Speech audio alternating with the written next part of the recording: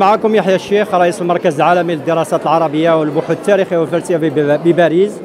أنا الآن متواجد في الرباط آه، في آه، هذا الفضاء بالسوفيتيل آه، وكان اليوم لقاء للوزارة المنتدبة لدى رئيس الحكومة لتوزيع جوائز عديدة منها ما يخص الجمعيات المحلية.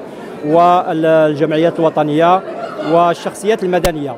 والإعلان عن الترشح كان قد توجه إلى مغاربة العالم للمشاركة في هذه الجائزة ولكن للأسف آه، خلال هذا اللقاء لم يذكر أبدا اسم مغاربة العالم ولم تذكر أي جمعية ولم تتم مناقشة الملفات التي آه، قدمناها لهذا الترشح وهي ملفات آه، كبيرة جدا ملف من المركز مثلا يتكون من 500 ورقة وكانت المبادرة هي المحبة والتسامح ومحاربة العنف والتطرف الديني والسياسي وتأطير 1700 تلميذ سنويا آه، بالاشتراك مع وزارة التعليم الفرنسية وتقديم الاستشارة القانونية ومحو الأمية والتعريف بالثوابت المقدسة للمملكة آه، الشريفة ولكننا نستنكر اليوم هذا التجاهل آه الذي لا يسير في الخط الذي رسمه صاحب الهلال نصره الله للاعتناء بمغاربة العالم.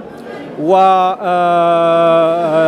آه، من اللازم أن آه، تدرس اللجنة هذه الملفات وأن تذكر على الأقل مغاربة العالم. لأن مغاربة العالم يقومون بدور الدبلوماسية الموازية. وقد جئنا على نفقتنا الخاصة. وقدمنا الملفات وتركنا أشغالنا.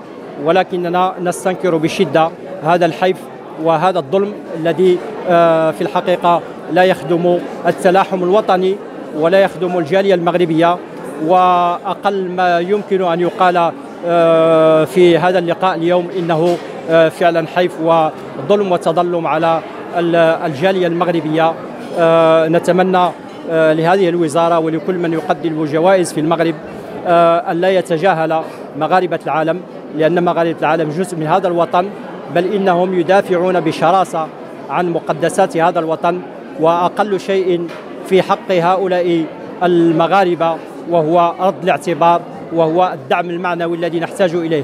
فمركزنا يشتغل أكثر من 38 سنة وأبوابه مفتوحة وفي هذا الوقت الذي أتكلم فيه تركت الطلبة بدون مأوى في أروقة المركز وتركت لهم المؤونة وكل شيء. السيد أحمد براو آه، رئيس جمعية دعوة ODV.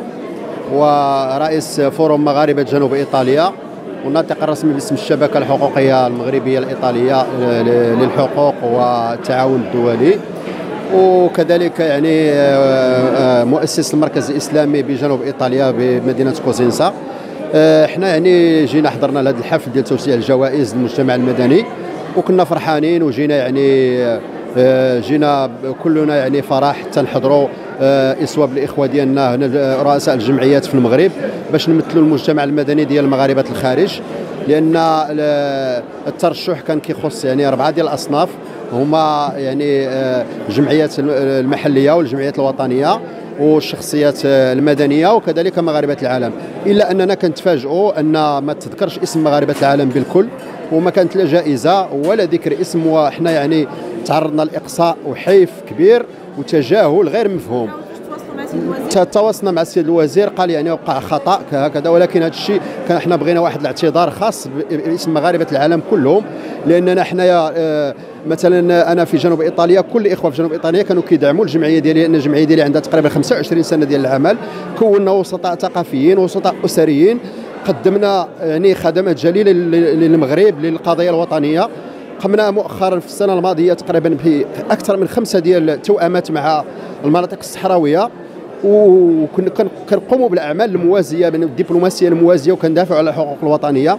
وحنا كنتمنوا العمل الجليل والالتفاته المولوية الشريفة ديال سيدنا آه، محمد السادس نصره الله. ولكن بالمقابل كان يعني كنتأسفوا كثير للحكومة. وكذلك عندنا مشكل كبير. إحنا في إيطاليا مثلا مشكل ديال جوازات السفر وجواز آه، آه، رخص السياقة اللي ما بقاوش ما بقاوش يبدلوهم الرخص السياقة الإيطالية. ومازال هذا المشكل كنتعرضوا ليه. يعني تعرضت ليه يعني جالية كبيرة وفي متضررين كثار وكيتسناو أنهم بغاو يعني يمشيو يخدموا لأن لأن كي يعني كيتحتم عليهم ان هو مصير ديال الأسر باش يعيلوا الأسر ديالهم.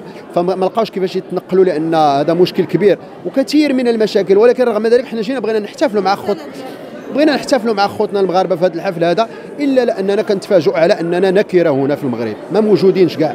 ولو اسم مغاربة العالم ما تذكرش. وحنا شفنا مؤخرا كيف مغاربة العالم الحمد لله الجالية المغربية شرفت المغرب في كرة القدم. آه، وبغاو يركبوا على الموجة ويقولوا على أن يعني مركز مركز يعني آه، آه، محمد السادس يعني الرياضة هو اللي قام بهذا العمل هذا. وهما فيهم جوج ديال اللاعبين أو ثلاثة ولكن مغاربة العالم هما اللي شرفوا المغرب. فلذلك بغينا كيفاش نرجعوا الاعتبار لهذه الجالية هذه. وحنا راه غادي غادي نقوموا يعني غادي نديروا واحد واحد الندوه صحفية مطولة يوم الثلاثاء وغادي غادي نشروا هذا هذا هذا الاحتجاج هذا لأنه احتجاج قوي وما كي يعني ما كي يعني حنايا راه مقلقين على هذا العمل هذا. شكرا على المشاهدة. إذا أعجبك الفيديو اضغط على زر الإعجاب. لا تنسى الاشتراك في القناة وتفعيل الجرس وتابعنا على مواقع التواصل الاجتماعي. مرحبا بك.